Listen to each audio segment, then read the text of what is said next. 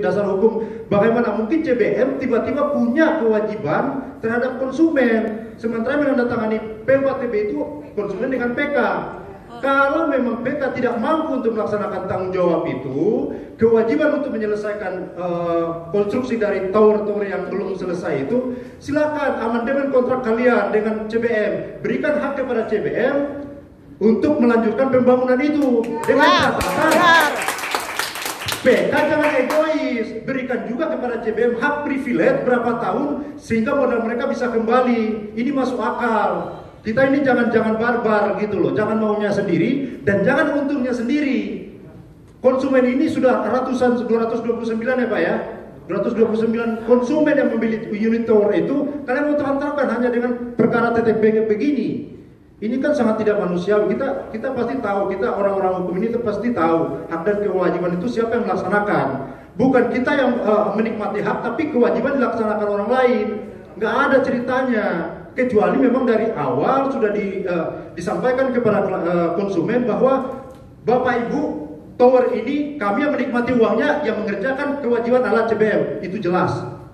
Tapi pertanyaan saya ada nggak disampaikan? Tidak ada. Tidak ada.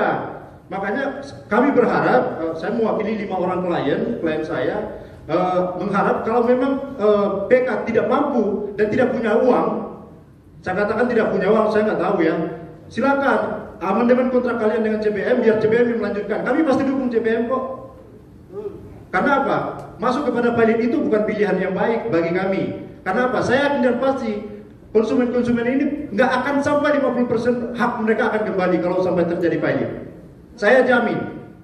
Karena akan banyak biaya-biaya akan timbul dari situ. Tapi tolong dimengerti. Ini konsumen ini sudah lima tahunan lebih, bahkan tujuh tahunan lebih, mengharapkan haknya, hak keadilannya gitu loh.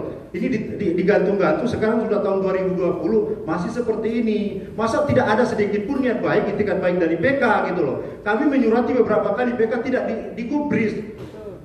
Dalam perkara pun yang kami jalani pun PK berusaha untuk membalikkan semua fakta-fakta. Ini kan sangat miris sekali gitu loh.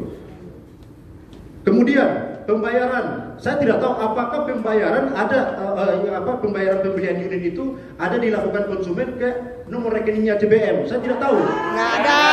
Karena semua bukti-bukti yang saya pegang, saya bawa-bawa ini semua asli, tanda bukti kwitansi dan bukti transfer itu ke rekening Prima Kencana. Jadi bagaimana mungkin Prima Kencana mengatakan tidak punya